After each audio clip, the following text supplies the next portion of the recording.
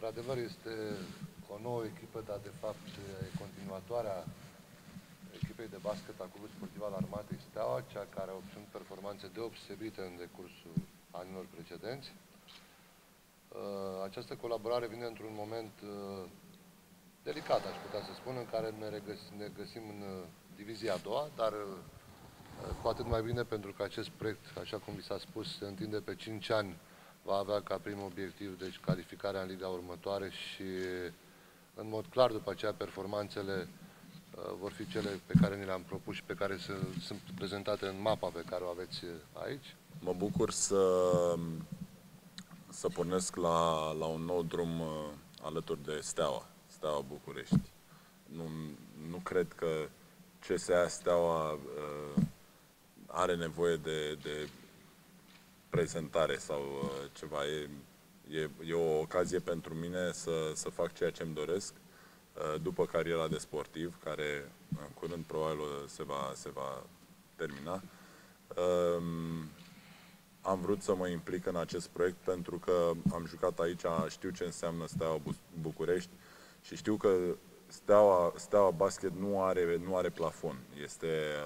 este o echipă din, din țară care nici, nu și-a atins uh, uh, limita nici pe departe și uh, încercăm, am, am creat o echipă tânără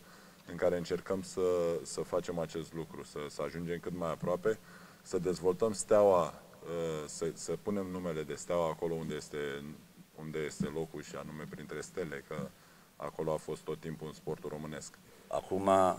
e altceva, e nou drum, dar uh, pentru mine e mare provocare când uh, Virgil Tănescu sunat și vorbește cu mine, avem oferta spre Gulf region la țara și după 5 minute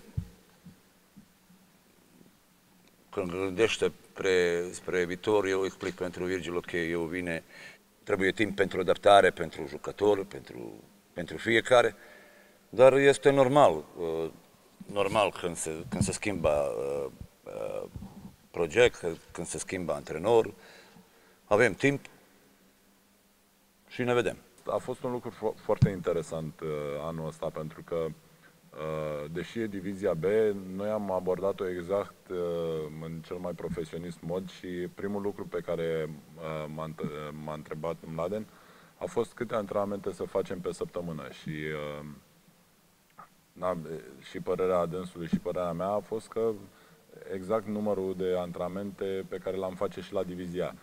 Și am pornit cu 19 jucători tineri la drum, din care după 48 de zile au mai rămas 9. Uh, nu sunt încă obișnuiți cu ritmul, nu sunt încă obișnuiți cu uh, uh ce trebuie să facă ca, ca să ajungă